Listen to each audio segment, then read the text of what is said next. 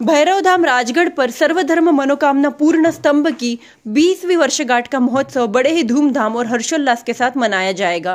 प्रवक्ता अविनाश सेन ने बताया कि धाम पर आयोजित होने वाले चार बड़े वार्षिक पर्वों में सर्वधर्म मनोकामना पूर्ण स्तंभ की वर्षगांठ का महोत्सव सबसे अधिक महत्वपूर्ण एवं मुख्य पर्व होता है। इस दिन भारी मात्रा में श्रद्धालुओं की भीड़ रहती है। यहाँ यह मान्यता है कि इस दिन जो भी भक्त सच्ची आस्था और विश्वास के साथ आता है व सर्वधर्म मनोकामना पूर्ण स्तंभ की विशेष परिक्रमा कर, चमत्कारी चिमटी प्राप्त करता है, उसके सभी मनोरथ पूर्ण होते हैं। वर्षगांठ के आयोजन को लेकर मंदिर कमेटी व भैरव भक्त मंडल की तैयारियाँ भी जोरों पर है। आपको बता दें कि भैरव धाम राजगढ़ दुनिया का एकमात्र ऐसा धार्मिक स्थल है, जहाँ किसी भी प्रकार का रुपया, पैसा, चंदा, चढ़ावा, दान, गुप्त दान, भेंट, नारियल, माला, अगरबत्ती या अन्य किसी भी प्रकार की कोई पूजन सामग्री आदि भी स्वीकार नहीं की जाती है।